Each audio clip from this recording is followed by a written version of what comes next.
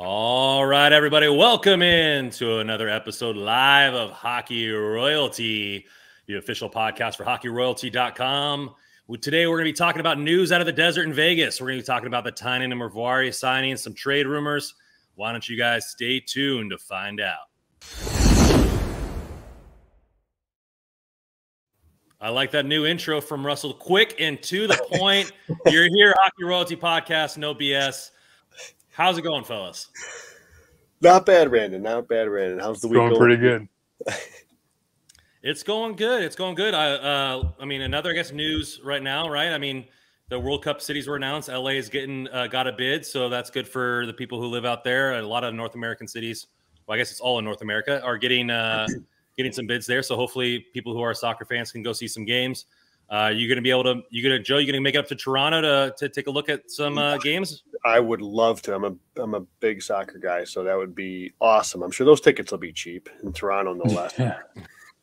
What about you, Russell? You gonna try to make it up to SoFi and catch some soccer, or not? Not your thing.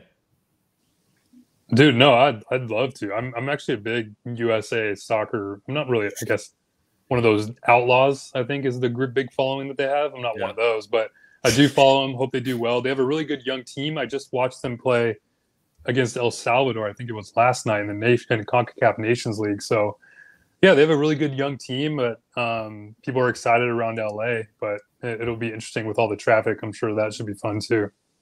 Yeah, they just they made it this year for Qatar, and then four more years for that young team to develop. They could be in their prime there, and it kind of makes some headways uh, for 2026. Obviously, the the group is getting bigger, so a lot more countries being there it's going to be interesting. Uh, I saw this clip today that the U.S. last World Cup in the U.S. had the highest draw of any World Cup as far as total people who went to the games, and obviously with more teams being introduced, more games being played, this one's just going to trump that. So it should be quite an event to see. Uh, but the biggest news out of hockey, uh, for at least for us Kings fans, is news from the desert here. So two things come out of Vegas uh, within a couple days. You have uh, them getting a new head coach, pretty lickety split with Bruce Cassidy at five years, four and a half million. And then uh, we think Evgeny Dadonov got uh, traded for Shea Weber, but as the Ucks, uh, as the Ducks uh, trolled them on um, on Twitter, uh, they asked, "Are you sure?" So, um, which is which is par for the course there. What did you? Let's start with the the Dadonov news here first. Let's start with the player. And and well, actually, let's start with the coach. I think the coach maybe was the first signing. What do you guys think about Cassidy getting let go from the Bruins and then and signing there with Vegas pretty much within a couple weeks? I mean, wasn't on the unemployment line for for very long. Yeah, Cassidy just leaving Vegas, that whole situation was kind of strange. It kind of just came out of nowhere because, I mean, Boston hasn't been. I'm not sure what did they make it past the first round last year. I'm not sure what the playoff record is previous years, but this past this year they looked pretty good, but with a lot of the injury news that has come out with I think it's McAvoy that's going to be out for a while, and they got a couple more other guys that are going to be injured for a little bit. It'll be it's it's kind of weird whatever that situation is up in Boston. So letting go of Cassidy made a was a lot of question marks I guess that were raised when that happened. But I mean, for Vegas to scoop him right up, it seems like a pretty good get for them. Um, he's got a really good reputation with some of the players that he had up in Boston. Um, but and, and with the Eichel situation and everything that's gone on from from there in Vegas the last few years, it, will be strange or it'll be interesting to see if he's able to kind of solidify a spot in Vegas since they've had what this is now their third head coach in five years. So we'll see if he stays. I think it's a great move. Um, the problems in Boston were not have were not Cassidy. I mean that that they didn't do a good job on the management side. They really didn't replace David Krejci. Uh, they didn't have a second center. Erik Haula played well down the stretch, but they, they really didn't replace him. And I think this is a great hire. He's you look at what Boston has been able to do um, offensively, probably more importantly defensively, the way they just don't allow chances. And I think you're going to see a much better defensive Vegas team next year.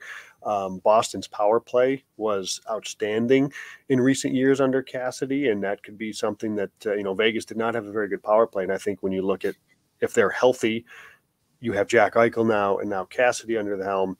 I think it's a really good hire. Um, and I'm, you know, we'll, I'll talk about this a little bit more um, with the Dadonov move. And I, I apologies to our guy Richard Sarabia, but I'm very bullish on Vegas going into next year. I think that, um, and this is a good start for them. I think they got probably the best coach on the market.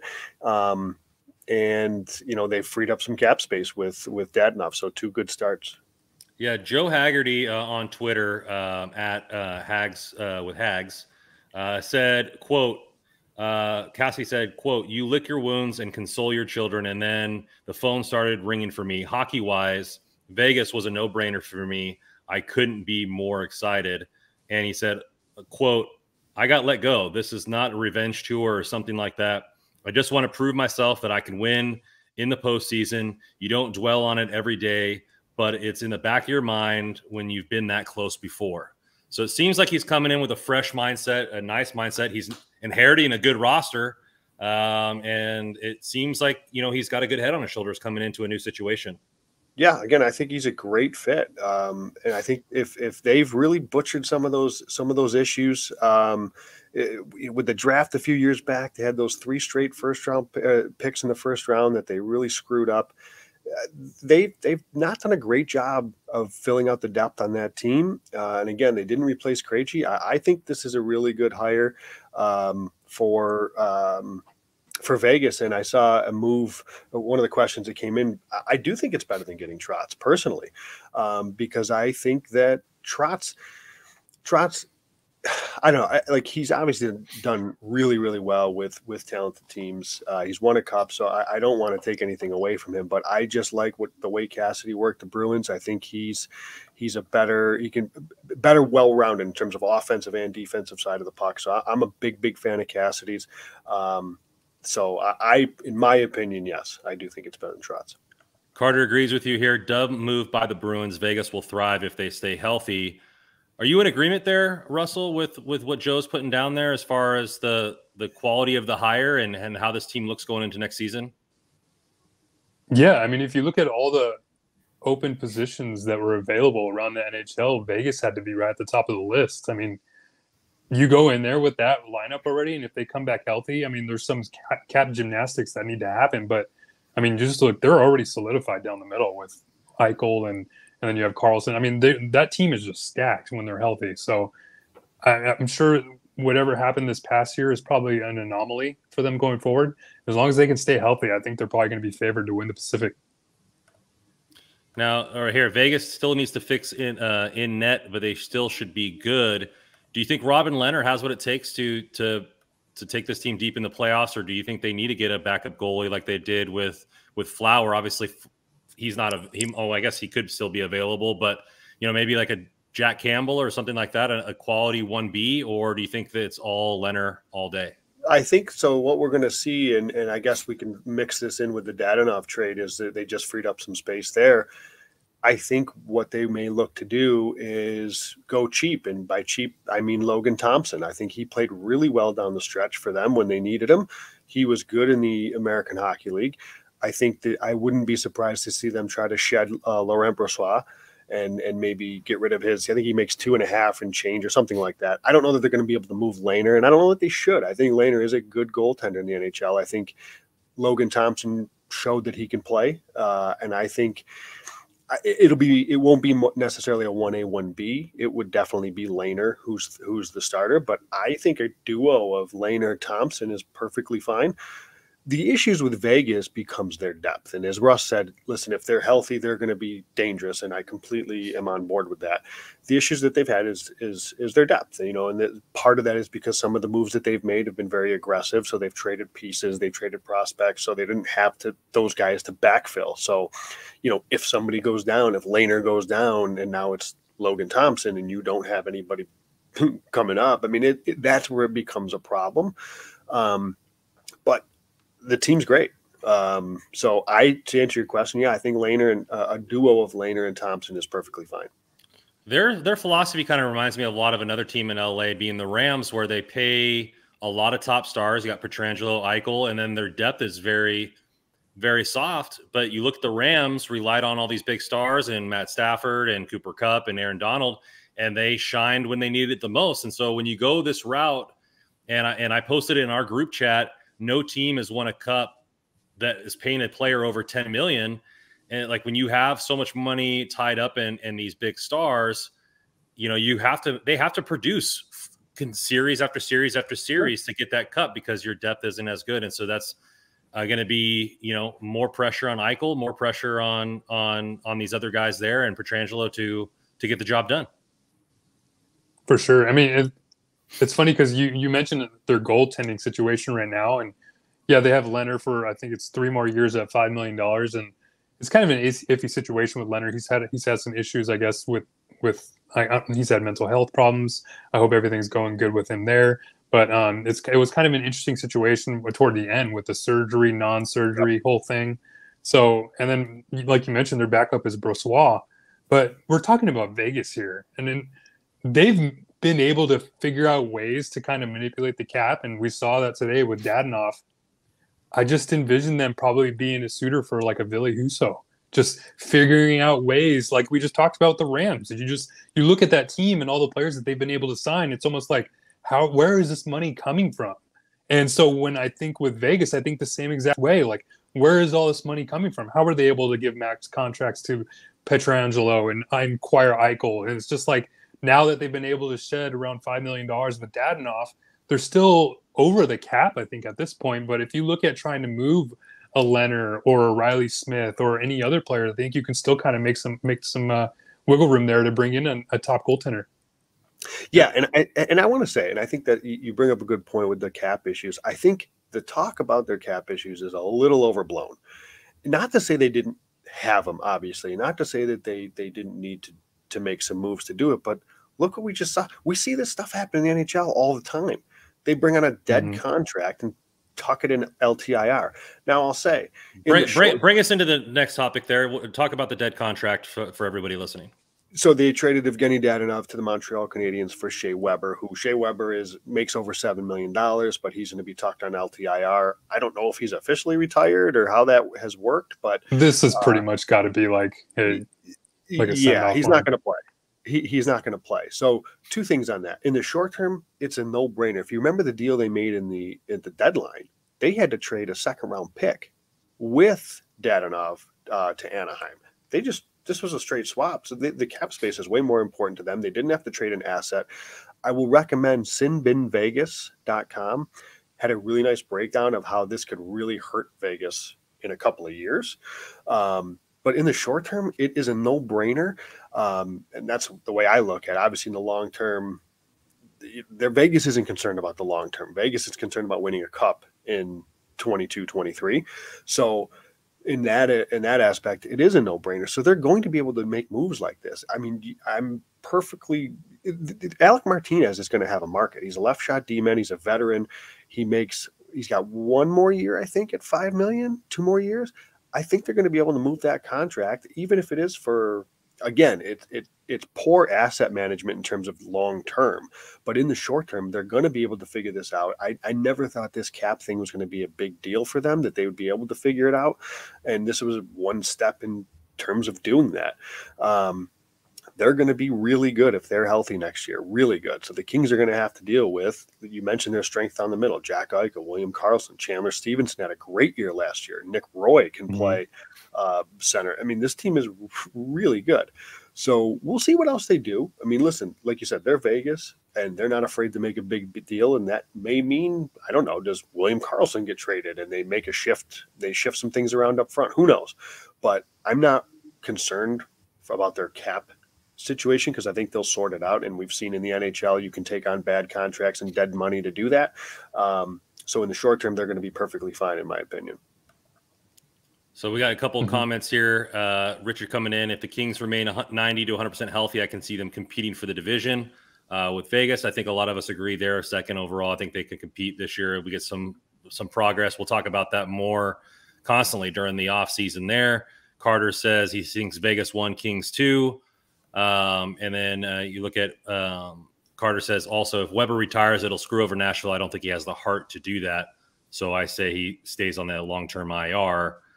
Um, let's get let's move into the the next topic, which is me talking about our great sponsors here at DraftKings. uh, so the DraftKings here, Hockey fans, the pursuit of the Stanley Cup is on, and DraftKings Sportsbook, an official sports betting partner of, of the NHL, has an unbelievable offer for you in the most exciting playoff in sports. New customers can bet $5 on any team to win and get 100 in free bets no matter what, win or lose. Turn a small bet into a big payday during the playoffs. With DraftKings same day game parlays, you can do just that. Create your own parlay by combining multiple bets, like which team will win, how many goals will be scored, and more. It is your shot at even a bigger payout. DraftKings is uh, safe, secure, reliable. Best of all, you can deposit and withdraw your cash whenever you want. Download DraftKings Sportsbook app now. Use promo code THPN. Bet $5 on any NHL team to win and get $100 in free bets no matter what. That's code THPN. DraftKings Sportsbook, an official sports betting partner of the NHL. Minimum age and eligibility restrictions may apply. See show notes for details. Speaking of the Stanley Cup playoffs, boys, Abs up one nothing. Pretty crazy game in overtime. I know we don't want to get too deep into it, but uh, final starting off with a bang. It's a fun game, as expected, right? It's going to be a, it's a fun one. Those two teams. Colorado is ridiculous. They're so fast. Let's get into uh, more Kings news or eight, some Kings news, uh, the start of Kings news, if you will. Uh, but before we do that, make sure you like and subscribe to the channel. Uh, trying to boost everything up here at Hockey Royalty. But let's get into it. So Tynan signs, uh, and then Moverare signs. Uh, we get the MVP back after his stint with Team USA over there in the World Championship. So you know the MVP getting some uh, getting some love there and getting on that roster. He signed a, a two year deal. First being a two way uh, contract. Second year is going to be a one way. Uh, average AAV is going to be seven hundred and eighty seven and thousand and five hundred dollars. And then Moverare comes in right afterwards and signs a deal. I'm pulling it up here from our friends at Cap Friendly. It's a two-year deal, seven sixty-two fifty or five hundred uh, for Moverare for a two-year deal. Less than what we had on our cap show, right? I thought we had a couple of nine nine hundred. So Rob Blake already outdoing us, uh, saving some money right away uh, and getting it going. Let's start with the Tynan. Now the Tynan move here for me there's there's is a little caveat because he still has to get snuck through waivers, right? So if a team wants that contract, they can. I know he made it through last year, but after back-to-back MVPs, maybe a team needs a 4C and can take that contract before he sne- sneaks through waivers. What do you guys think about that? Do you think he gets through and just the signing in general? Let's start with Joe on this one since you covered the Reign with me, my man. Yeah, I, I, imagine that that this is he'll be in Ontario to start the season, and um, as somebody who had a chance to to watch, you know, I watched pretty much, as you know, Brandon every Reign game, and and we quickly came up with our our Player of the Week award. We basically just named it the TJ Tynan Award. He could have won it every week. I, I don't know if I've seen a player dominate uh, a level of hockey the way he did all season. He was five of 84 assists. He was five assists short of the AHL record he was dominant and he quarterbacked the uh, best power play in the history of the American Hockey League this year. It's, it was a great re-sign because I think at the time when they got him last year, you know, he was the reigning MVP prior, like last summer too. They, so the Kings bring him in, and you figure they've got all these centers. They've got Byfield, they've got Turcotte, they've got Kupari, they've got Madden, they've got Anderson Dolan, who's why would they bring in another center who was obviously here to play first line center? He's the best player in the AHL. And I think it makes perfect sense because you, you give these other guys time to continue to marinate, continue to develop, move. Some guys were going to move to wing, so you can let them sort that out. And also, you're seeing a guy who's in his late 20s, he's 30 now, and you just see what it takes for to be a professional. And and as good as he is, I almost think this is this is this isn't the reason that they brought him in, but like it, it can almost work out this way. You see how good TJ Tynan is in the American Hockey League, and he barely gets a sniff in, in, in the NHL, which, you know, it, it sucks for him because he's such a great player in the American Hockey League. But, you know, you it's, it's, assigned to these young kids like you can be that good and that dominant and still have a hard time cracking it in the show. So um, I think he's a great a, a great resign. I'm glad he's back, um, and hopefully uh, for his sake and for the Reign's sake, they make a little bit of a deeper run. But heck of a signing, heck of a player. Yeah, this is only going to be great for the Reign for the next two years. As far as him making it through waivers, I don't see it being an issue uh, this year. Uh, if he does get claimed on waivers, he would have to play at least I believe, 10 games in the NHL. So if a team maybe wants to see him as a look and maybe for the future, eh, I don't know. I mean, it's, it's the thing with it's, it's it's weird because you see these players that excel so well in the AHL, but just for some reason aren't able to put it together in the NHL, which is, I mean, it just happens, and it's not the worst thing to have that happen to this player. I mean, you can have these type of great AHL players help out these young players that we see playing on the Reign right now. I mean, to have that development, to have that piece play alongside players like Fagemo, Madden, Akil Thomas. I mean, look at like you get a two-time AHL MVP playing with these players, showing them how to play in the minors. I mean, I think that's just a great signing by Rob Blake to keep uh, Tynan around, and and I don't see it being a problem with him making it through the waivers and sticking with the Reign this season.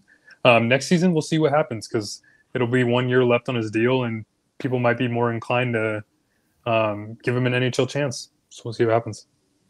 Yeah, I, I, like it. And I think a lot of people are like, oh, well, you know, or maybe not a lot, but some people are like, oh, well, the Reign had their chance. You know, Byfield is in, in, the pros and, you know, and everything like that. But you still got you still got guys that that are second round picks, like for Francesco Pinelli. You're going to have Martin Chromiak. Yep.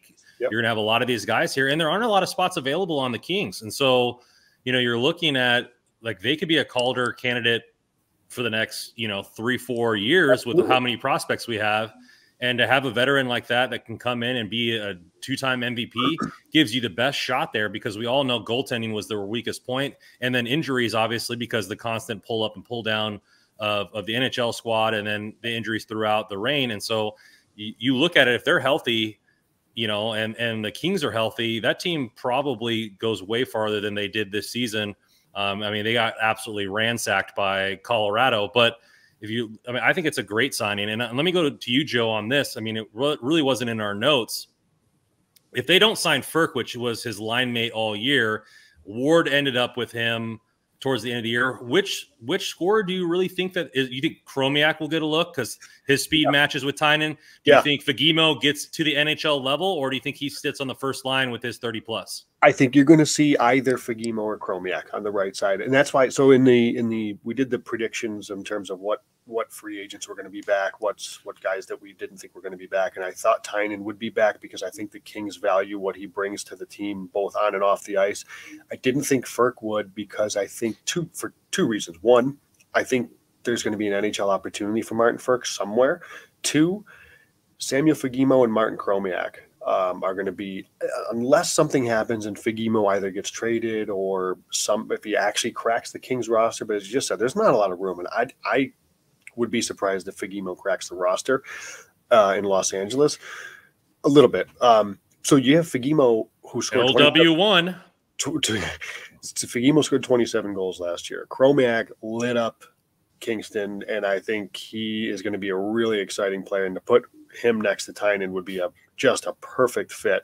So I think that's part of the reason why I don't know if if we'll see Frk back. And and yeah, so I think the answer is going to be either Fagemo or Chromiak, or maybe both at certain points. Taylor Ward did get a lot of action up there, and I think he he, he did a pretty good job playing the left and the right side for the Reign. Um, don't know that I see him getting a a, a full time look with Tynan, but maybe you know uh, they they played well together, so perhaps. But I think the, the scorer on that line with Tynan is going to be Fagemo or, or Chromiak, one of the two. Yeah, I really think I think Chromiak sits well. I mean, obviously Fagemo has that one timer as well, but Chromiak, all his highlights from from Kingston were just lighting, you know, piss missiles from the dot over there, and I don't think they're going to. I mean, not to say you won't miss a beat without the right. 109 mile per hour shot, but Chromiak is the guy that that loves to shoot the one timer, and you're going to see a lot of dishes from Tynan to Chromiak in the, on the power play next season, and it's going to be a fun to watch. Yep. But, yeah, we, we we actually we talk a lot about Brandt Clarke and, and seeing if he's going to have a chance to crack the NHL lineup. I think I think we need to all be paying attention to Martin Chromiak because yep. he looked really good last year during the rookie camp, and I think there was a chance for him to make the NHL roster. But with all the crowd that was going on, it didn't really come to fruition for. So look look for this year.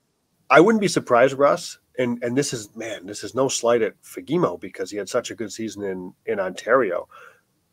I I there's a shot. I think there's a better shot Chromiak could crack the lineup in LA this year than Fagemo. That might be a little bit of a hot take, but um, Chromiak, I'm really excited about. Yeah, so let's get into our second one here. Moverare signs, like I get it, two years, a little over uh, 760. Uh, Joe, did you need 36 minutes for for your take on this, or uh, you able to tone it down? Uh, I mean, everybody knows how much that's paid attention or, or, followed me or listened to us. I mean, I love Jacob Moverare. Um, I think he's the perfect guy to have. He's going to fill out a bottom pair. I think he could fit in in the bottom pair in Los Angeles, depending on what they do, depending on if they bring somebody in, if they don't, whoever it might be. He, he's perfect. He, Carter a, Carter scores agrees with you there. So yes, yeah, Carter scores. He he knows he knows he's followed me on Twitter. He knows uh, how happy I am. Like, and he's a perfect compliment too to a guy like whether it's a Sean Durzi or or you know whoever like one of these offensive defensemen that they have. He's such a steady, stay at home, but he's such got such a good stick. His gap control's great. Makes a great first pass. Like he's in. I I equate him to have said this before and it may be lazy, but he's almost like a. I could see him being a left-handed, left side Matt Roy, just really quiet, steady Eddie, not going to wow you, but because he's got such a good first pass, like you might be surprised to see that he picks up a bundle of assists throughout the season just because he's got that good, you know, good first pass in transition. So I'm really excited about the Moverare signing. I think that he probably ends up being their seventh defenseman. I have to think the Kings address the left side of the D this offseason, which I think would inevitably push him to the seventh defenseman, but um, maybe not. I guess we'll see. I don't know what you think about where he slots in, but I thought he had a decent showing. Again, he only had a couple of assists. He's not a guy that's going to pick up points, but I think that um, he he's somebody that that I think could slot in nicely um, on the third pair for LA. Yeah, Russell, where do you see him fitting in? I mean, obviously, Joe said they they need to make a move. I mean, Chychrun's the leading one. If they don't make a move, either free agency or via trade, are you comfortable with Moverare as the the third D man on the left side?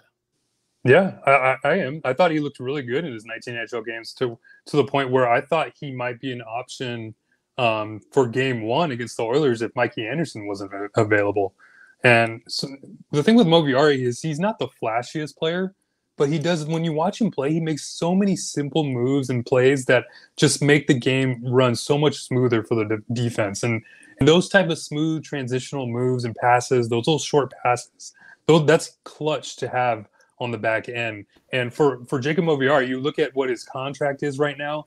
That's going to be a really solid, inexpensive piece to have as like your sixth say even seventh defensive defenseman going into next season.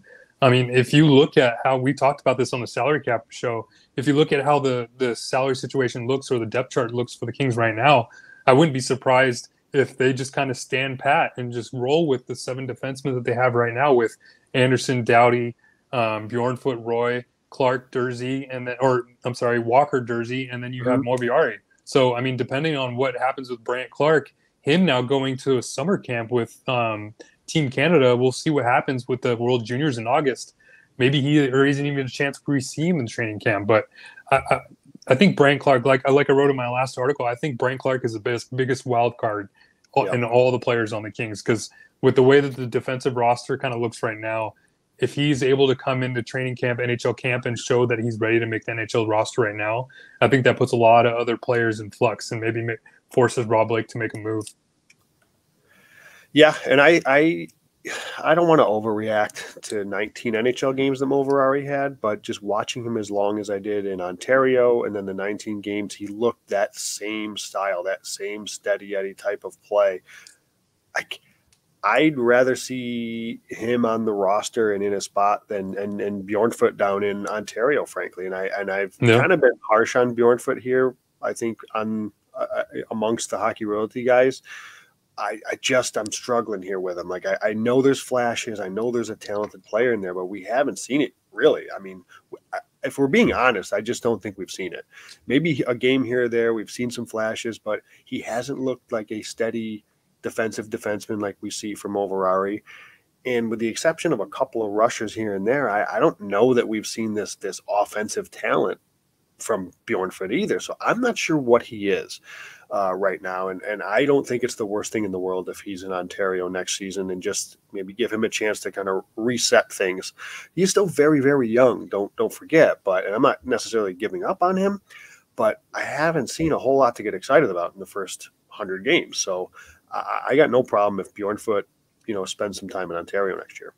Yeah, and yeah, the, we, the, thing we, the thing with Bjornfot is that like if you look at all the Kings defensemen right now, they all you can all you can kind of define what their role is. Like Drew Doughty is obviously Drew Doughty. He's like this all around top player. But look at all the young players. Sean Durzi, a lot of offensive capabilities. Jordan Spence, a lot of offensive capabilities. Moverare, Mikey Anderson, kind of like those shut down, kind of stay at home yep. defensemen. Tobias Bjornfot, we don't really know what type of role or what type of defenseman he is. Is he going to be that puck moving type skated through the neutral zone defenseman. We've seen that at times. Is he going to be that shutdown defenseman? We've seen that at times too. I mean, there's yeah, if he can develop into that player where he can kind of be good on both sides, but I think he's kind of teeter teetering on like a point where he doesn't really know what his role as an NHL defenseman is yet.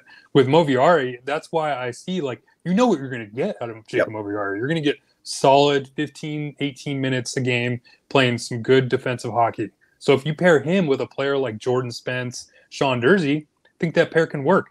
We saw what happened when they tried to pair Tobias Bjornfot with Sean Durzi. It didn't work because those both those players Bjornfot wasn't able to kind of mesh with Durzi and Durzi's offensive capabilities. So yeah, I think with Moverare, I think that's kind of him being able to define what type of player he is gives him a better chance at making the NHL roster going into next season. Yeah, I mean, you need it's a perfect pair because Durzi's a riverboat gambler. He's going to make mm-hmm. mistakes, but you you live and die with that because you know what he can bring offensively. Um, and and yeah, I, am with you. I, I, and again, I don't want to give up on Bjornfot necessarily, but I I think he just needs an extended run. And listen, he was thrust into the NHL at a pretty young age, right? He's been playing mm-hmm. with the Kings here for a few seasons, and he, he, was a teenager, if I'm not mistaken, that he was with the with LA. So, yep. like, it's it's it's going to take some time. Not to say he's done or he's not going to develop into a good defenseman. So far, though, I just haven't seen it. You know, and with the amount of defensemen that they have, I don't know where he fits. I mean, men still develop, you know, size and everything like that until they're, you know, 21 to 24, depending on the on the person. I mean, he's still growing, he's still becoming, and I think he got shoved in. You look at what he was doing for the World Junior team in Sweden. He was a captain there. He was very much a stalwart. He was penalty killer one and like you see all the that against his own age group and like you said being thrust into the NHL out of necessity for the lineup that the Kings had at the moment and maybe was rushed his development process and it's going to be a little bit later. We have some agreement here from some of the fans here. Um, you know, Moverare is solid, good cheap signing. Uh, we had Carter Score says, I don't recall Moverare ever making a bad pass in a short stint. Tape to tape is huge, and forwards love that. Skills. Yep. Moverare mm-hmm. for Bjornfot on the third pair is a great idea. Sorry, Joe. I know you were going to rebuttal what I said or, or comment on it. What what uh, you can go ahead. No, no. The, what I was going to say too was the other. The, the, there's a big difference here. Like Moverare, where he played in Sweden, he came over in, into Ontario the uh, the 2020 2021 season. He is going to be turning 24 in August. Bjornfot just turned 21. Mm-hmm. Like he, that's a big. There's three years difference between these guys too. Like I don't want to. There's there's a reason that Moverare has kind of settled into what he is. He's steady Eddie, and he's he knows exactly what he's doing when he's on the ice. He's he's been doing this now professionally for a few years. Where Bjornfot was kind of thrown in to the fire a bit as a at a young age at the top level. It's it's you know it is different, and again I, I don't mean to be harsh on Bjornfot It's just right now we haven't seen it. If we're being fair, so um, what he is is still a question. We got a fan question here that kind of leads into our next topic. So th- this might be a good segue. Hopefully, uh, comes in. He said, "Question for Joe," but I think uh, both he'll be fine if all of us answer. Uh, looking at the at what the market will be this summer for left wing players, would you rather play Moverare and focus on getting a left wing one, or would you rather continue the hunt for Chychrun? So I've gone back and forth on this. Um, but my, I, think my opinion is the Kings. I still think are their their strength and depth is up front. You know, we've talked about Fagemo, we've talked about Chromiak. Akil Thomas had a huge end to last season. Don't forget about him. Anderson Dolan had a great season. Um, Tyler Madden had a okay season. He battled with injury. Um, pretty sure there's a guy named Turcotte. Is his first name Alex? Uh, that's still in Ontario. That that we'll see what can can come of him. So I still think the strength of this team. I haven't even mentioned Gabe Vilardi, Rasmus Kupari, guys I'm big fans of too. So long-winded way of saying to me, LD2 is a huge hole, a huge hole. This team is not advancing in postseason with the current. And I love Moverare. I don't know that Moverare is an NHL LD2. Bjornfot's not an NHL LD2. Who's playing LD2? Is it Sean Walker? Because we, if we talk about maybe moving him to the left side, is that a big ask for him? That's a big hole for me. So yes, I would rather go get Chychrun and roll the dice that we have the depth at forwards, or maybe sign a depth piece, Mason Marchment, um, for a type of thing, rather than go for a big big forward. If I had to pick, I'm gonna LD two is a big hole. It's a big hole that, in my opinion, needs to get filled. Russell, would uh, you agree, or or you want to rebuttal here? No, I I absolutely agree. I think the Kings should go all in on on Chychrun. I mean, you just named Joe. You just named like six or seven players that we that are high end blue chip prospects that would probably be in the top five of any other NHL team's prospect list uh, on in, at forward. I mean, so there aren't that many holes really at forward either. You the top six is almost pretty much solidified with maybe say a wing position to play with Kopitar. You already have the the mad line with uh, Moore, Arvidsson, and Danault. Byfield and Kaliyev are around. Grundstrom looks really good, and then Lizotte. Um, then you you have all those players to fill those young holes, those fourth line holes. So if you look at the left side of the defense right now, there's there's nothing that really pops out at you.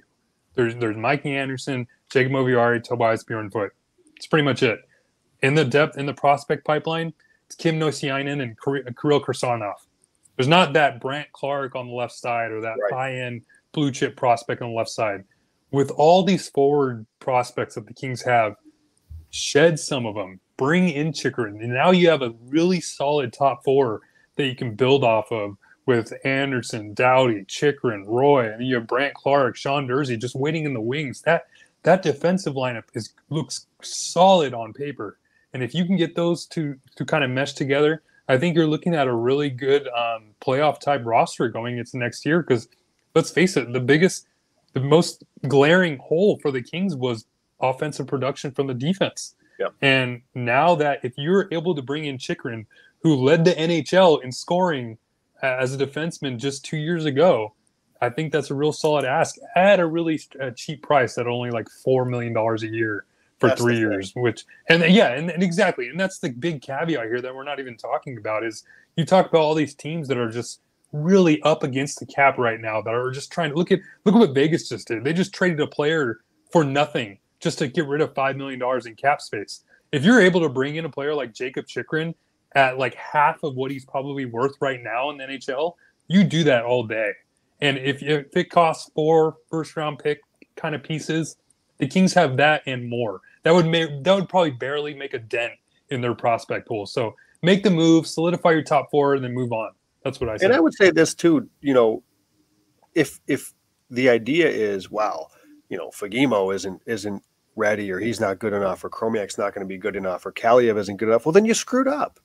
The, the, the development hasn't been good enough then right? If we're let's honestly, like mm-hmm. you just said, these are these are top end prospects that will probably be hot, the top prospects in any organization, right? And if the Kings, for whatever reason, whether it's maybe they're just hesitant to give those young guys that first line minutes, which I can appreciate, but at some point you got to find out what these guys have. And I think they did mm-hmm. a really good job with Kaliyev last year. And they proved a lot of people wrong, me included. Like, you can't bring up Kaliyev and just have him play on the fourth line. He's going to be, it's not going to do him any good. Well, that's wrong. It did him a heck of a lot of good because he, he really learned how to play a solid two way game.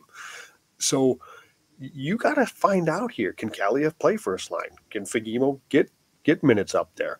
You know, I, I, I'm sorry. Like, I think that you can, you can, you, got to find out what these guys have. And if they don't work, well, then, you know, maybe something went wrong somewhere. But you look at a lot of these prospects now, and at some point, this maybe is a little different conversation, but I'm still very high on Byfield. I said before, come holiday next year, he's going to be great.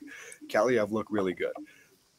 Rasmus Kupari, Samuel Fagemo, Chromiak, Tyler Madden. I mean, Madden was acquired via trade, but Akil Thomas. If if Helenius looked good at World Juniors, Francesco Pinelli had a, a Alex phenomenal Turcotte, year. if, if these guys all miss, that's a problem. Mhm. And I mean, I'm I'm I'm not saying I'm worried about that, right? Like I, I'm very confident that, that uh, they're going to hit on a few of these guys. So don't get me wrong, but like if you're so concerned that because Kupari's not good enough, Kaliyev's not good enough, um, Fagemo's not good enough, he just scored 27 goals in the HL last year. Well, then there's a problem here. I, I, don't know. Like that's that's where I'm at with this. I think it's time to to let it run. You've got to and go at it from a depth scoring approach. You've got Kopitar and Kempe to anchor that first line. You need to address the lefty. You talked about the Mad line; they were great last year. Byfield is on your third line. Lizotte solidifies the fourth line. Like I, I think they can just come at it from a depth standpoint. Maybe added a, a, a depth piece at a good price, but Chychrun, the, the D, the left D for me is is a is a bigger concern. I think. That leads us into the the trade rumor section here, uh, and this is time to put on our tinfoil hats and and and or GM hats, if you will. Uh, but we got a couple of fan thing. Uh, we got uh, I think Kaliyev and Byfield are going to take a big step next year. Hopefully, Kupari too, or Vilardi if he stays.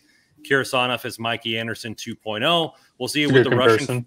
We'll see what the Russian factor does recently if if things uh, cool up over there and if he'd be able to come over to to the states.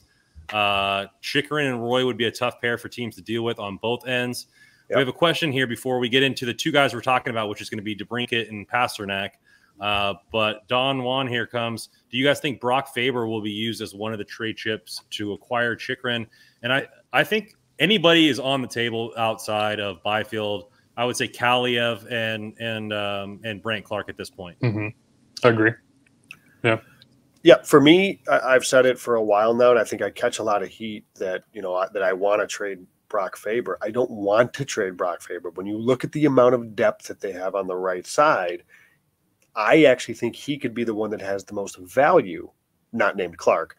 I think who who has more value in the trade market, Durzi, Spence, or Faber? I'd argue it's Faber. Um, you know, maybe teams are really interested in Durzi after the season he had um, and sh- what he showed. Same with Spence, but I, I'd argue that it may be Brock Faber. So if that is the case, and he maybe has the highest perceived value, you cash in on that. And that's not to say he's not a bad player. Like he's, I'm sure he's going to be a really good NHL defenseman. But you also still have Durzi, Spence, Clarke, Wagner, Roy. Like they're Helge Grans. like they're all Mhm. Helge Grans, good God, how did I forget him? Like they're all still there. So you can't keep all these guys. Like I said, don't hug your prospects. Yeah, Brock Faber is probably going to be a really good defenseman, but at some point you're going to have to make a decision on some of these guys. Um, and when you and of all those guys, Helge Grans is the one that I would not trade. I would try not to trade. Of course, is, is what I mean. I mean, obviously it is what it is, but Helge Grans I, I would have ahead of slightly Durzi, Spence, and Faber for me. That's who am I? But that's my opinion. We had uh, we had two uh, draft episodes. If you guys didn't see those, one was Scott Wheeler and Corey Pronman, both at the Athletic. And Wheeler said that Slavkovsky, you know, has been rising up a lot of people's boards, you know, to maybe one or two, because the fact that he played against men, he played in the Olympics and was an MVP, he played in the World Championships. You see, Faber's played at every single level in in Mhm. pro hockey before becoming a pro and that could that could pique some people's interest to where he could go straight from the NCAA after Minnesota tries to win uh, a championship and go straight into a team come come April or May for the playoffs, and maybe they don't even bat an eye. And so that could be a, a trade chip that they they possibly could be looking at there. Uh, let's get into the first one here. Armand brought it up, so we'll start with the Pastrnak. Rumors of Pastrnak, uh, you know, that possibility being traded. I think the coach leaving there. It wasn't official uh, as far as from the team or anything like that, but multiple reporters or a reporter said that it's a possibility, and then uh, LA fans went wild, me included, uh, about the possibility of, of eating pasta every night while watching the Kings play. Uh, let's start with Russell on this. What did you think about the the rumor itself, uh, and then what would bringing Pastrnak to LA mean for this team come next season? It's probably not the best to start with me because I'm probably the biggest Debbie Downer on this whole situation. I'm okay, Joe. um... I'm actually not the biggest fan of bringing Pastrnak to LA, and and I'll explain. It's I know what Pastrnak is. He's obviously a perennial 40 goal scorer in the NHL every season. Yeah, I get that. The thing, the thing with Pastrnak is if you bring him in, you look at the cap situation right now for the Kings they're pretty much against it right now. So yeah. there's still probably some wiggle room to bring in a couple pieces here and there, small to medium to short um, kind of term deals. If you bring in Pastrnak, that's it. That's your franchise going forward. You're looking at all the young pieces that you have now, and you're building around Pastrnak and whatever else is left. Because Pastrnak right now, yeah, next season he's going to have six point six million dollar cap cap hit after that, you're probably looking at close to 8.5, maybe even $9 million a year. And we kind of did a little cap manipulation on that last salary cap pod where just looking forward next year and the next few years, the Kings are uh, still kind of up against it until maybe even Anze Quick or Anze Kopitar goes goes uh, away or maybe gets a new deal. With Jonathan Quick's deal coming off after next year, there's still there's a little bit more of space to to deal with. But with Pastrnak, man, that's that's going to eat up a lot of that, a big chunk, and it's probably going to be him and Drew Doughty that are going to be the highest uh, contracts on the Kings um, for the term. So, yeah, bringing him in would be would be great, but you have to think of the price that's going to cost, which is a, a heavy price. Even though he's only got one year left, it's going to be still an expensive piece to bring in or expensive cost. And then you also got to consider the cap that he's going to have to have going forward if he wants to resign. So any move that he does that that gets made, if the Kings do make that move, will have to be contingent on him signing an extension as well. Because we don't want another Milan Lucic situation where he just comes, he gets brought over for one, one, one year and then leaves. So if the Kings do end up making that move, just make sure you have that extension in place. And remember, he you, he also has to decide to to list the Kings on his uh on his no trade clause because he's got a modified no trade clause. So there, there's that to consider as well. All right, Joe, uh, come up with some positivity here, man. I know I just said that LD2 is my number one, and the Kings need to focus on the, the back end first. So let's pretend they don't, right? Let's say that this is, they're going to stick with, as Russ said, it wouldn't be that shocking if they kind of stick with the crop that they have. Then I am all in on David Pastrnak. Um, yeah. Russ is right. Like it, it could become a cap issue, but I think what I what I like about it, and especially if you can get him without trading Brandt Clarke. I wrote the piece that said it could cost first Brandt Clarke, Alex Turcotte, and maybe a fourth piece. Like it could be a heavy, heavy price to pay. And I'm operating under the assumption that the Kings would have a deal in place to lock him up long term, which is why I would be mm-hmm. willing to do that. Um, so Pastrnak, though, checks every box for me. Elite on the power play, elite goal scorer, elite finisher, something the Kings have needed forever. And what I kind of like about it is, is that first year you it's almost like it buys them a year to figure out what they're going to do with the rest of it because he's in at six six and change. It becomes an issue the following year when you have to pay him more money, whatever that extension is nine nine. I, I think I used the nine and a half in my article for comparison's sake. So, but Quick's money coming off the books. Trevor Moore was no longer here. Maybe you then do entertain enough. You you entertain sure you entertain trading. You know maybe then and Alex Iafallo. But the reason I didn't get too into it is like that's a year out right now. And I, I mm-hmm. the way I look at it, not to say you don't want to focus on things if you're a management of how are we going to address this in a year. Obviously, that's what they should be doing. But I think that there are ways that they can do it with some money coming off the books to where this first year at six and change, they can find a way to get him in. And then I don't think it would be that difficult to say he signs nine, nine and a half million dollars. I don't think it would be that hard to maneuver some some cap around to get him in. So I love David Pastrnak. He is my favorite of any even potentially available forward. Um, I like him better than Forsberg. I like him better than DeBrincat. I like him better than Fiala. Um, I I am all in on Pastrnak. Now, again, I th- I do think the Kings' biggest need is that left deep. if they decide to go for the forward route and they go for a big forward splash, it's Pastrnak for me.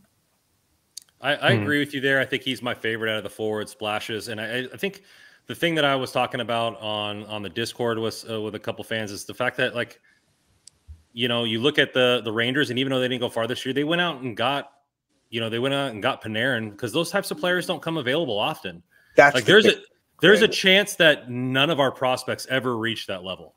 And oh, so, chance. and there's a, uh, a great chance. It's probably over 95% chance. And so, you know, you're looking at will any prospect ever be a perennial multi-year 40 goal scorer? Probably not. And this guy is this guy's young. You can give him an eight-year deal and he'd still be 34, right? No, 26, uh, eight year, yeah, 32. So, you know, um, no, 34. I was right the first You're time. Right. Uh, and to where at the tail end of his career, nine and a half million at, at, that eight years from now doesn't look like it probably doesn't look like much with the ESPN money. I, I mean, you, we just spent 20 minutes on why the Vegas cap issues ain't a big deal. Like, if I think Rob Blake would figure it out. And mm-hmm. for me, that's my thing. It's like I, I agree with you both that LD2 is more important for the Kings to progress next year. I think they would still progress with Pastrnak, but you can find LD2s in the league. You it's hard to acquire a 40 goal scorer. You, that's why Ovechkin stayed with his team for so long. P- players don't like that don't come on the market very often.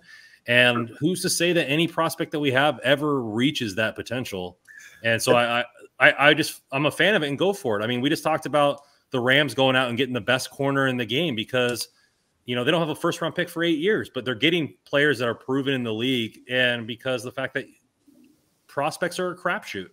They really are. Yeah, and and um, I, like I know people crap on Vegas for the, how aggressive they get, but you know what? They're they're going for it, and in some mm-hmm. ways, you you kind of appreciate that. And um, I don't know. I, I I definitely am am in on pasta, and that's why I was so in on Jack Eichel too. Like these guys don't become available that often. And listen, obviously, this Pastrnak stuff is total speculation. He may be nowhere near available, but like you, if he were, you just don't see guys like that become available too often. So when one is, man, you better put your best foot forward and at least make an effort to get him. And if it doesn't work, it doesn't work. But uh, if another team beats you, whatever. But um, I don't know. I, I, I think that there, I think there's a way to get around, and especially if you could pull it off without giving up Brandt Clarke. I, mm-hmm. even Sign me up every way. You'd probably have to include Iafallo in the deal to kind of move some money out, which could could free up a little bit more space. Um, yeah, Boston might be more willing to take on Iafallo. He seems he, Follow in Boston kind of makes makes a lot of sense. He, he feels like a prototypical Bruins player. Yeah, yeah. But yeah, I mean, yeah, the thing with the Pastrnak, yeah, it's you bring him in, that that's going to be your piece. And, and could the Kings win a Stanley Cup with maybe building around Pastrnak players like Byfield, Kaliyev, Clarke? Could see it probably happening. I mean, you get if those players can live up to their potential, that's a pretty solid core to build around. I'm kind of coming around to the idea as my mind as my mind thinks, but yeah, it's it's just it's a big move, and it's it something is. that the Kings just haven't really. It doesn't. Pastrnak on the Kings just it doesn't feel right to me. It just it doesn't. I don't know. It's just he doesn't feel like that kind of prototypical Kings player where they kind of just make that move for that perennial scorer, which we, of course, we've lamented that they need, obviously. So bringing him in, yeah, it would help. But there is there has been some questions about his defensive play, some of that. So that's kind of why I I, I think about maybe Rob Blake kind of looks at him, would look at him um, and kind of say, okay, maybe I'll just kind of back away a little bit because the cost is going to be high not only to acquire him, but then to pay him in the future as well. Let me ask you this, Russ. We've we've kind of talked about, you know, waiting like the what's next for this Kings. Of we always try to compare back to ten years ago, mm-hmm. and that Mike Richards, Jeff Carter move. Would this not be the Jeff Carter move? Jeff Carter was a proto. He was a goal scorer. That was what he did was score goals. Like is that that's sort of what this I know it's not exactly the same, but he I think he was signed to a really long deal, but it was a pretty good number. Even at the mm-hmm. time, I think it was a good number mm-hmm. uh, years ago. But like I look at it similar in that way that you're you're trading. That's your Jeff Carter. That's your. I think at the time Carter was a nah. Carter scored forty, didn't he? He was a forty. He was. I'm, I'm, I'm, trying to bring up the stats right now, but he was. Yeah, he was having pretty good years. I mean, you think about his years in Philly. I mean, yeah, yeah I'm pretty sure he was a forty goal yeah, he was 46 goals in 2008, yeah. 2009. Yeah, so I mean, this this I, I, kind of look at it sort of like that. And again, I know it's not totally apples to apples, but you know we've been waiting for the Kings, and, and is Blake going to pull off that that kind of Mike Richards, Jeff Carter deal? I think Pasta could sort of fit that, or or the guy we'll talk about next in DeBrincat too, who's obviously a, a goal scoring threat. Yeah, I think yeah. actually the biggest comparison, not not to compare the players, but to compare the kind of situation, is when they tra- is when the Bruins traded Joe, Joe Thornton to the Sharks I mean, Joe Joe Thornton was 26 years old, and yep. the biggest talk was about that time was who won that trade. I know there was like a lot of players involved. I believe even Marco Marco Sturm was what? one of the players. Where Sturm, Primeau, I think there's a bunch of names involved, and the biggest talk was like, okay, who who won that trade? And I've always said that whoever gets the best player wins the trade. So, oh, yeah, it's gonna, that trade was a no brainer. Yes. Yeah. So if you're paying a lot to get Pastrnak, you're going to win the trade because he's obviously going to be the best trader, player involved in the deal. So we'll see what happens. Carter Scores comes in here with a quick thought before we get to DeBrincat. Pierre Luc Dubois is the dark horse candidate for me. People keep talking about his character issues, but he's been killing it since getting away from Trotz. Do you see him maybe as a casualty up uh, up north? You know, it's funny. We talked about the Winnipeg in our cap show, right, Russ? Mm-hmm. I don't think we yeah. mentioned Dubois like I'm pigeonholed um, that I always view it like he's a center, and I try to keep him. But he can play the left side. He can play the wing. Now, I don't know if he wants to play the wing, if he would be interested in that. I love Pierre Luc Dubois. And if he was a casualty in Winnipeg and we could get our hands on Pierre Luc Dubois, love it. I'm all in on him too. Um, but again, I don't know where he fits. If he if he's a center, he's not to be a center in Los Angeles. Is he okay playing left wing? I don't know. But I very much like Dubois. I think it's an interesting shot. I think there's a lot of interesting guys on that Winnipeg team that mm-hmm. what's going to happen, but we don't know what they're going to do, you know, so I don't know. Yeah, actually, Winnipeg is probably one of the bigger names to watch when it comes to offseason because I don't know if it was Scheifele or Wheeler, but one of them kind of mentioned like they don't really know what's kind of going on with the franchise going forward. There's a, a lot of question marks. Yeah, PLD is going to need a new deal. You have a lot of great talent, a lot of top end talent there with with Scheifele, Wheeler, Connor, uh, Ehlers, who is a great player. Um, so I don't know if they maybe move some pieces. If they do end up moving pieces, that's not going to make a lot of players happy up there who are looking no. to win now. So I, would envision that team to maybe make moves going forward to win. But if management isn't on board, if ownership's not on board, then you're going to see a lot of players wanting out of Winnipeg. I gotta think they they got Connor Hellebuyck still. Like you gotta try to still take some kicks at the can when when you've mm-hmm. still got that top end talent. Connor, Ehlers, Dubois, Hellebuyck. Like I gotta think there's ways that you can address that roster to be more competitive in the short term. Yeah, and they have some good young talent. Perfetti is going to be a great player. They have some good defensive talent. I'm trying to Ville Heinola. He's a great young defenseman. So there's a lot of good young talent there. I think there just needs to be a little bit more patience in Winnipeg because if PLD can develop, he's only 23 years old.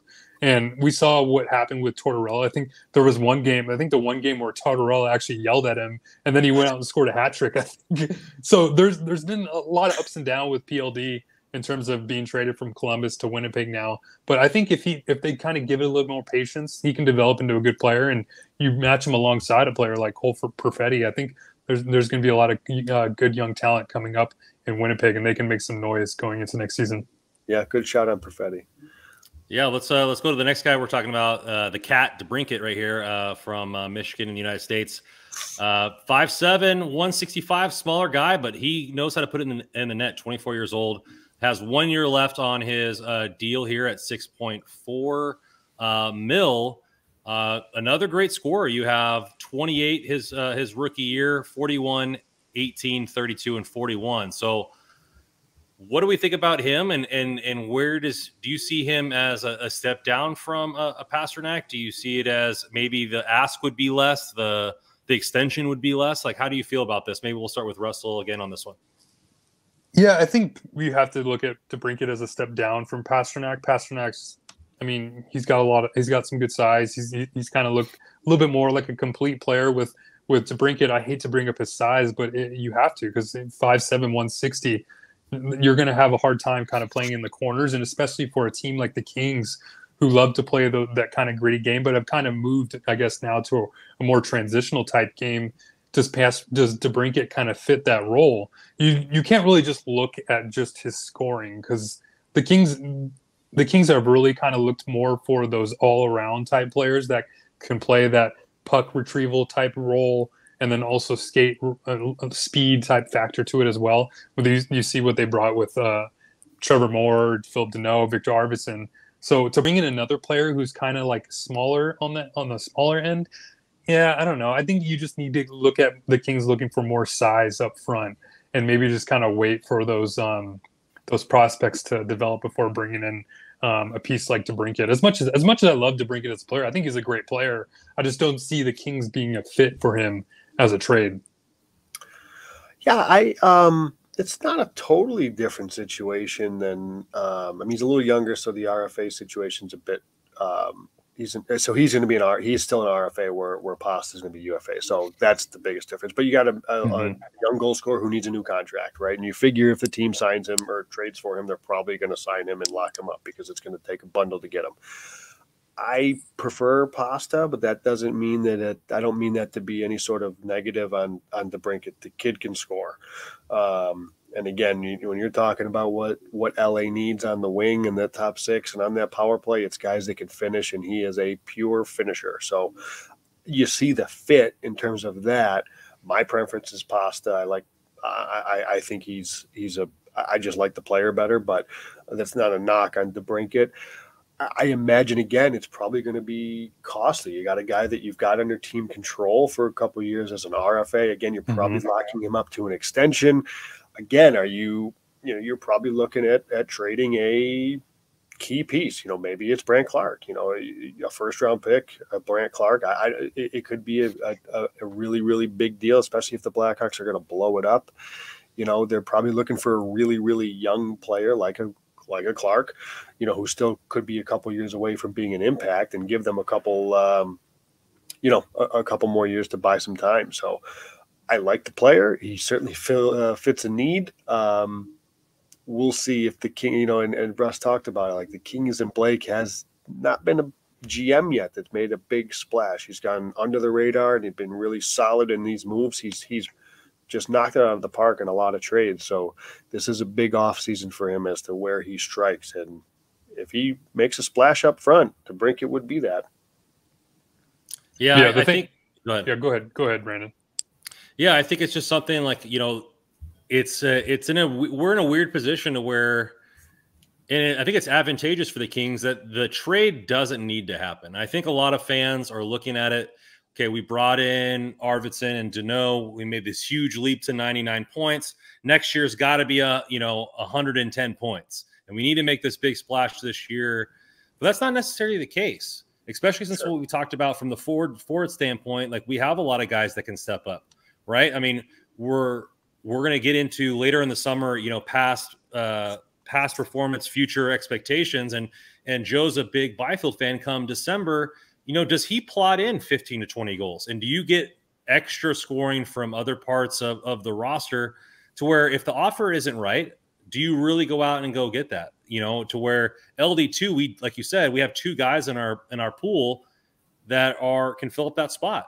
And one of our first round pick isn't playing up to expectation. So, you know, there's less of a chance for us to go out and uh, or grow that from within.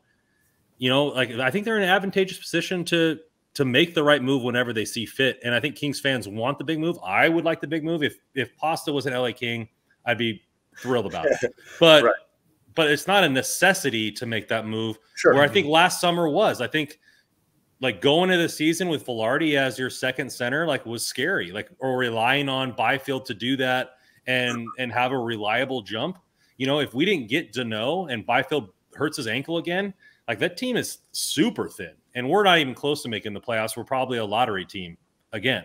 So I, I, I think this year some fans, me included, need to maybe pump the brakes on this high powered trade. If it happens, great. If it doesn't, there's no need for Blake to like force force it. Is what I'm saying. Yeah, mm. I think for me, for me, it just comes down to, you know, I, I don't know. At some point, there has to be a, a, a breaking point of you've got all these prospects Are they just going to sit in Ontario for their careers, and that's that's what it is? That's what what that's where Fagemo's going to be. That's where they're going to play, or are we going to use these assets because these assets can be used to play, or they can be used as trade pieces. And I just feel at some point there's got to be something that gives. Maybe not to your point. It doesn't have to happen. I mean, they can certainly roll into next season, be more cautious, and kind of take that route and say, hey, if we get some, uh, you know, Drew Doughty will be healthy, and uh, there's logic there. Don't don't get me wrong, but I think if you if you want to try to um, take that next step, you probably have to try to bring in an impact player somewhere, whether it's on LD two or whether it's um, you know up front. Yeah, the thing, the biggest question going into next season is going to be, and what I'm going to ask is, what's the expectation this year? Because we talked all about about how maybe the Kings kind of surpassed expectations. Yeah, some people maybe within the franchise and the organization pick were kind of had a goal to make the playoffs, and a lot of people outside the organization around the league didn't really see that happening. But now that they did make that jump, what's next? Are you are you just going to just keep striving to be that kind of low end playoff type team where you make playoffs but you don't really make a lot of noise? Or you're trying to make some make the next step where you win a couple series maybe and even go a little bit further. But the thing when right now we have to look at is the kings have so many have still a lot of young talent that still needs to be developed. And i think the reason that people look at these trades that could come that could possibly happen is the Kings probably have the most amount of trade capital out of any team in the NHL. You look at their salary cap situation, you look at the amount of prospects they have, they still have pretty much all their draft picks. So, I mean, they could pretty much make any deal. And the reason why I'm a little more, I guess, shy on bringing in DeBrincat is you just paid a lot of a lot of money to bring in and a lot of prospects to bring in a player like DeBrincat, who's probably going to be around 7.5 million dollars a year going to his next deal why didn't you just sign Filip Forsberg for eight point five million dollars, and you you could have had him for for nothing? He's probably even a better player than DeBrincat. So that's where that's where I'm like, is if you're going to make that big move, go big or go home. So. I'm, I'm, again, I'm like talking myself into Pastrnak, but it's like you. If the Kings welcome still, to the dark side. Yeah, we're exactly. the Kings. Are, we've talked about this multiple times. It's like the Kings are still. They still haven't made that big Mike Richards type trade. So for it to happen, the Kings just have to pull, pull the plug and just go all in on a certain player. So if you're going to make a trade for where you're trading for like a DeBrincat, just go all out and trade for a Pastrnak if he's available or sign a player like Filip Forsberg.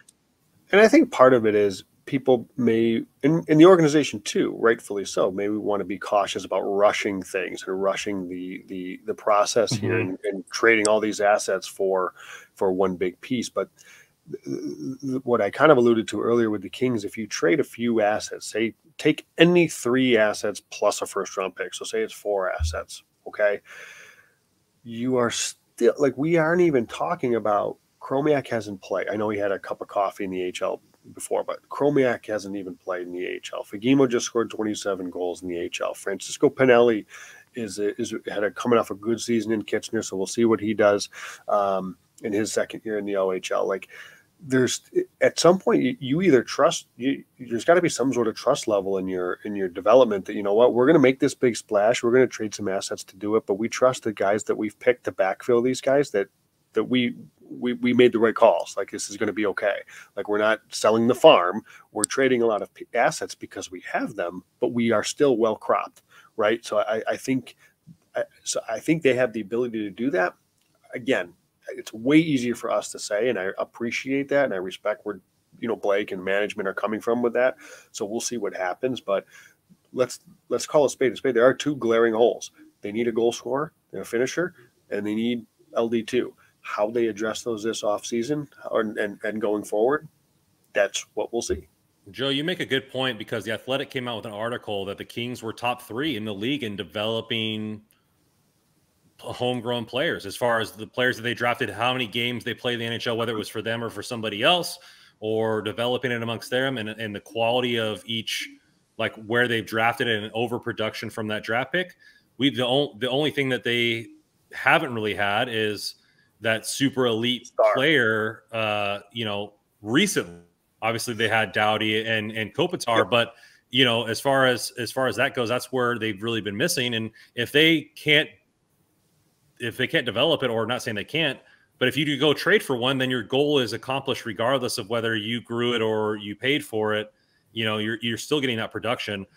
Russell, be uh, go ahead and and and and you were about to say something before I cut in. No, yeah, it, it's. I'll just go back to what I think the expectations are for this year.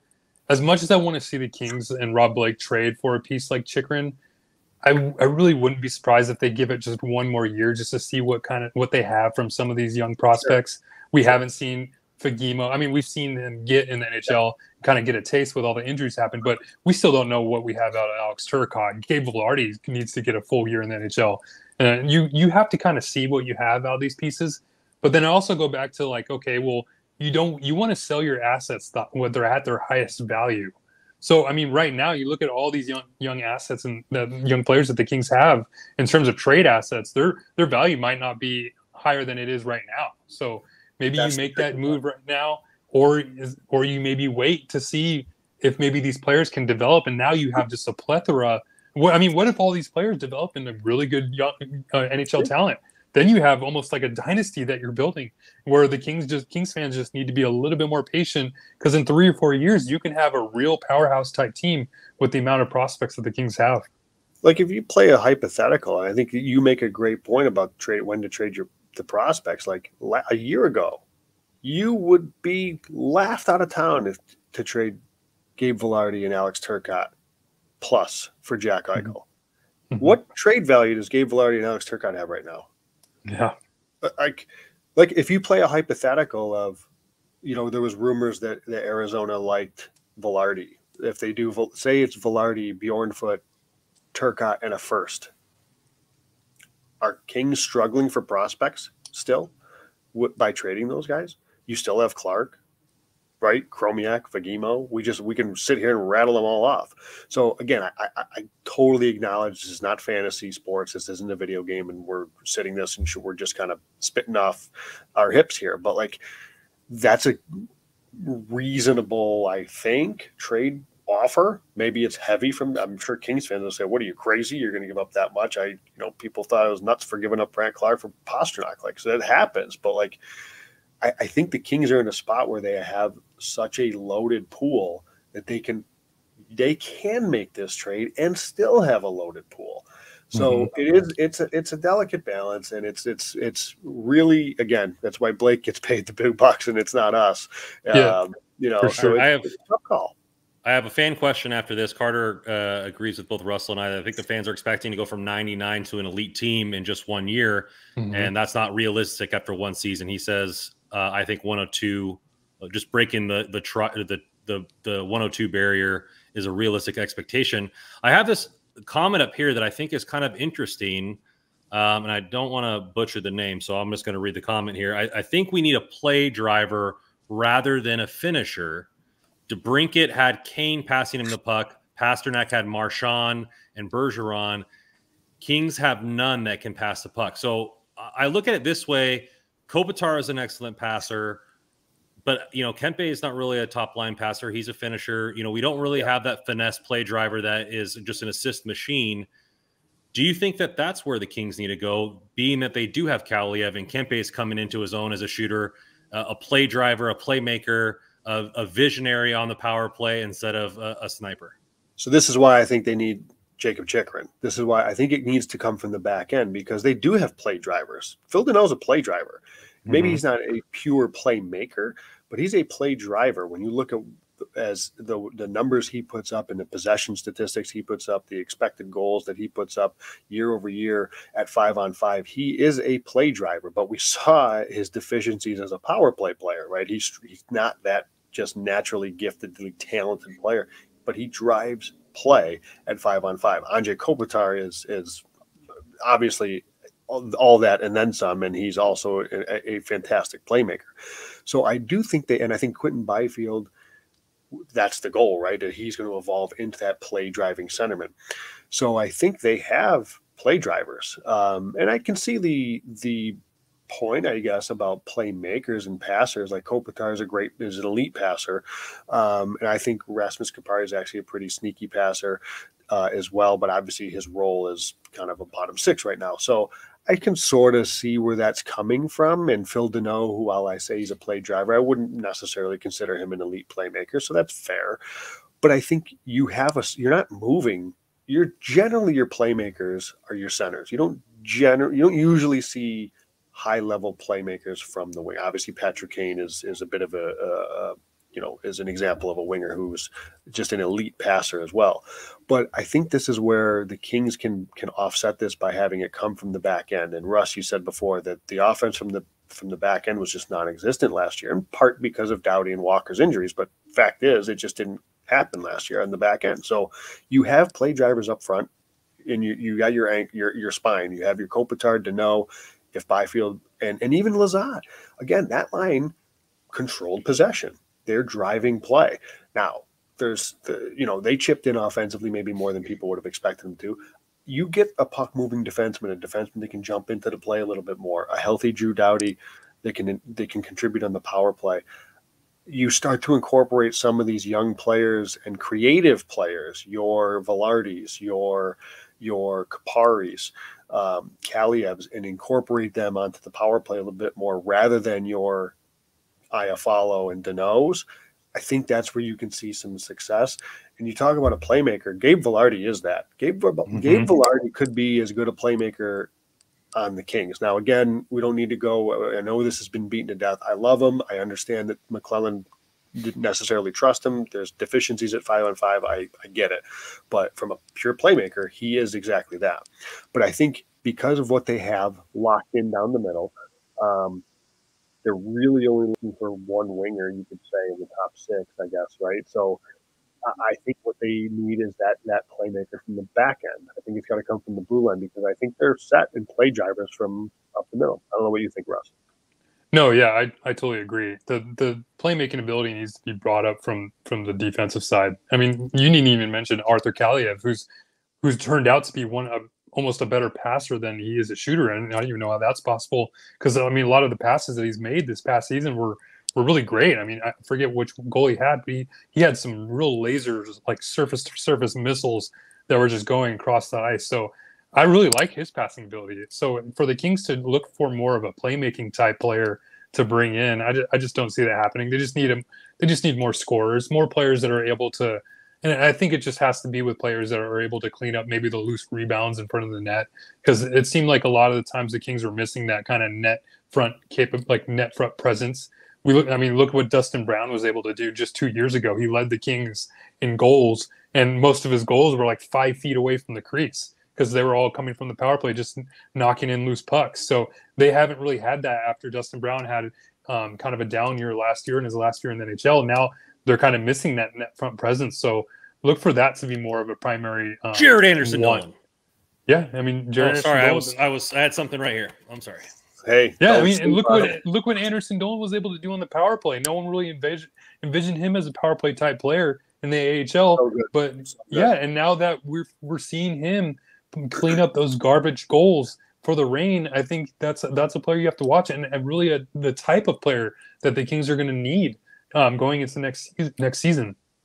And I, you know, not that, and I don't want, not, I don't mean to any, any, you know, disrespect to the person that asked the question because I know there's people that that always say this too, and not, not even just the one person that asked, like, you know, wow, DeBrincat mm-hmm. had Patrick Kane or Pastrnak had this, you know, Bergeron, Kempe had Kopitar like Kempe just scored three. Are we not giving credit to Anze Kopitar as as the elite passer? Just he just was a hand in hand had a career year with with you know gave it to Adrian Kempe. So like I, I don't know. I I think Anze Kopitar and that's the winger we're probably looking to fill is an elite passer. Still, he's still one of the better playmakers in the game. Um, for I think he's still got a couple years left at that at that level. So I think it's a it's an interesting thought, and I don't I don't hate. I think it's an interesting question um, and a good way to look at it. But the way I approach it is it needs to come from the back end because I do think they have play drivers. I think there's enough creativity up front. I just think um, you know there, there's some tweaks that can be made, but um, interesting thought. Yeah, I would say probably their three best young playmakers are still 22 years of old and young, younger. You look at Vilardi, By, Byfield, and Kaliyev. They're all still re- really young players who are just barely getting their feet wet in the NHL uh, like we'll probably talk about this on another pod, but this is going to be a big year for those three players specifically in terms of their development and how they kind of fit into the franchise's um, goals, long term future. Yeah. So, well, it, has been a good one, guys. We're right at the the hour 15 mark. Again, you can find all of the articles. We're pumping them out daily, draft stock, player profiles at hockeyroyalty.com. Uh, Russell's working on some new merch, uh, so keep an eye out that for coming up soon. Uh, you can find us on Twitter at hockey underscore royalty. You can find me at Rando Commando 24 or Joe at JW Paterino and Russell at at NHL Russell. We have a lot of stuff coming in here for you guys. We're going to be uh, doing a little bit of crossovers, hopefully, with a Coyotes podcast to talk more trade talk. We're going to hopefully get some more interviews with some with some uh, draft content and and talk about our roster and how we think they're going to fare come up next season. We got a lot of good stuff coming up for you guys uh, this summer, so keep an eye out. Uh, anything to add there, fellas? Oh yeah, the draft is what what twenty days, less than twenty days away now. I mean, dude, this offseason, it's almost here. I mean, we saw we saw what the trade today. It almost got my blood pumping because I'm like, man, you remember last year the Kings made that Arvidsson trade? I think after Game Two of the Stanley Cup Final. So, I mean, with Moverare being signed, I mean, just Moverare and Tynan now being signed, signings are happening. I mean, I wouldn't be surprised to wake up tomorrow morning and see the Kings just make that big trade or makes any type of move. So the offseason is pretty much upon us now. So look for keep the phones ready. Be yeah, on, be on the lookout. Appreciate everybody that's that's joined in and asked questions and with the comments. We we really do appreciate it. Please like and subscribe. Uh, tell your friends and Russell. Make sure you get Richard Sarabia black tank top hockey royalty. Make sure you. Oh yeah, oh yeah, it's on the way. Thanks, Richard. Thank you guys, and as always, go Kings, go. Go Kings.